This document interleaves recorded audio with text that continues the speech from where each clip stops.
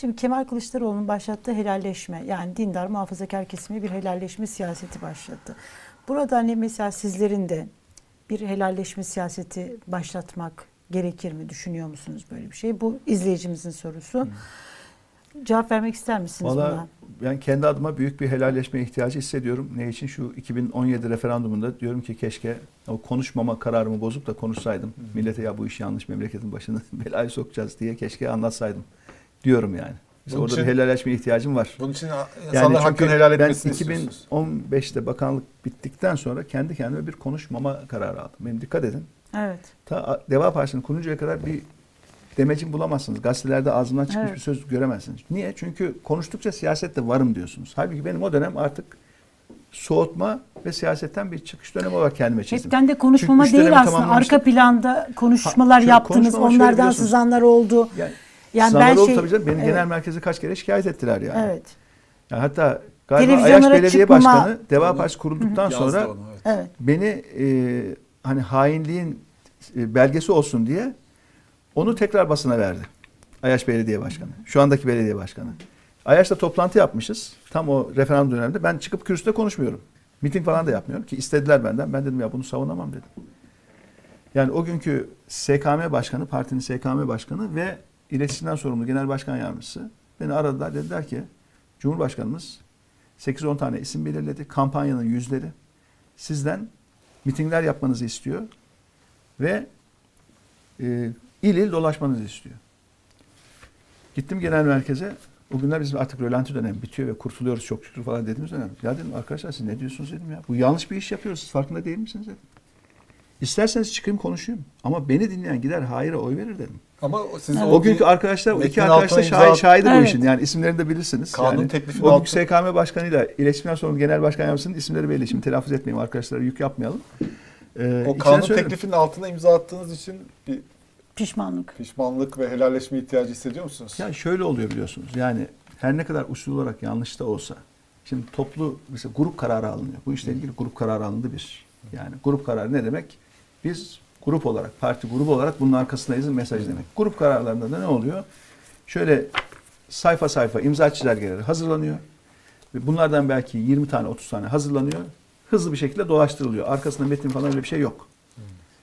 Yani dolayısıyla geliyor bunlar grup kararı halinde. Grup kararı olunca grup kararı dahilinde bütün milletvekillerinin imzasıyla ancak grup kararı oluyor bu iş. Dolayısıyla evet.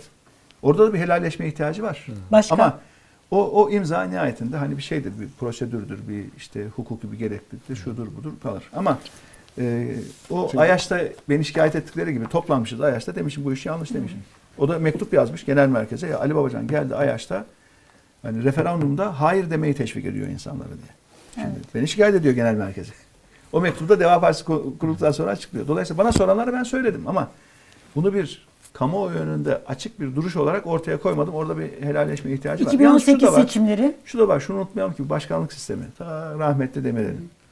Rahmetli Özal'ın çok istediği şeylerdi değil mi? Çok başkanlık. ama aynı başkanlık. şey değil Sayın Babacan. E, yani şimdi Ya başkanlık aynı şey değil. Amerika. Onlar, onlar gibi getirseydi Evet. ne getirdi bilmiyoruz. Şimdi Evet. aynı şey değil derken. Yani Hayır, şimdi başkanlık aklındaki başkanlığı biz- bilmiyoruz. Evet. Özal'ın aklındaki başkanlığı bilmiyoruz. Doğru. Belki onlar da böyle bir şey istiyordu. Çünkü güç zehirliyor ya. Bir süre sonra ya kimse bana engel olmasın hissi ağır basma- basmaya başlıyor belki. Ne parlamentoyla uğraşacağım, ne yargıyla uğraşacağım kardeşim. Ben yetki alayım, yürümem lazım falan. Belki güç zehirlenmesi Demirel'de Evet. de oldu, Özal'da da oldu rahmetlerde bilemiyoruz. Şimdi soracak durumumuz da yok. Yani ikisi de rahmetli. Dolayısıyla ama aynı şey yani. Şimdi şöyle geçmişe bakınca belki de işte Türkiye'nin bunu bir yaşayıp yaşayarak olmayacağını belki de görmesi gerekiyordu yani. Çünkü Ya yaşamayınca şöyle ama yaşamayınca anlamıyor. Çünkü hep o bir hayal olarak bir şey olarak ya burada durabilirdi itiraz yani. edeceğim. Başkanlık Ali Bey bir gelse size. bu iş düzelirdi düzelirdi. Yok burada şu, şöyle bir itirazım olacak nacizane. Yani bu, bu itirazı e, yapmak isterim. Şöyle ki biraz önce hani aynı başkanlık sistemi derken söylemek istediğim şey şu. Şimdi başkanlık sistemini savunan ben de çok yazılar yazdım. Bunun Türkiye'ye fayda getireceğine inandım.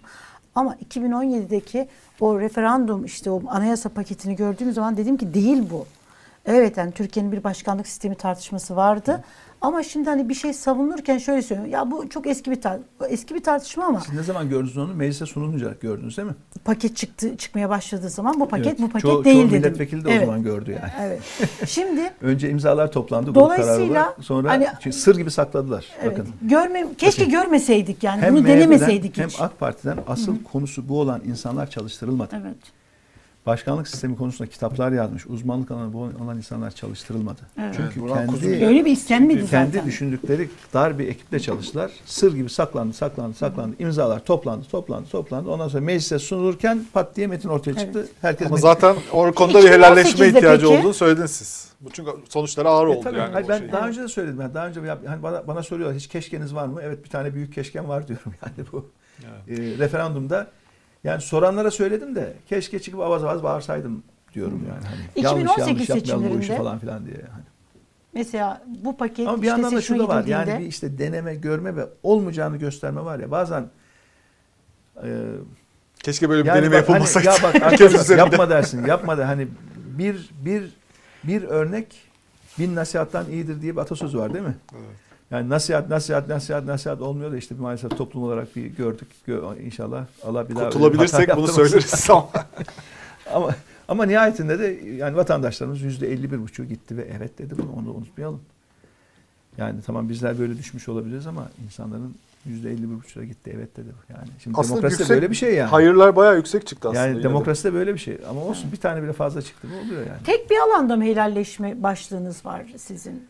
Ya çok vardır da şimdi geçmişi konuşursak yani ne altılı masa kalır ne Peki başörtüsü hiçbir konusunda şey gelinen yani. süreci nasıl şimdi değerlendiriyorsunuz? Yarınlara, yarınlara bakacağız Evet. artık yani. Şimdi geçmişte takılıp kalmak. Deva Partisi kurulalı iki buçuk yıl oldu artık Allah aşkına yani. Hani geçmiş Çok güzel muhasebesi çok, katılımla çok yaptık. Şimdi Evet. artık yarınlara bakacağız. Yarınlar seçime doğru geliyoruz yani. Eyvallah. Onun için artısıyla eksisiyle geçmiş herkesin geçmiş. Yapacak bir Peki. şey yok. Ama artık yarınlarda mutabık kalma zamanı.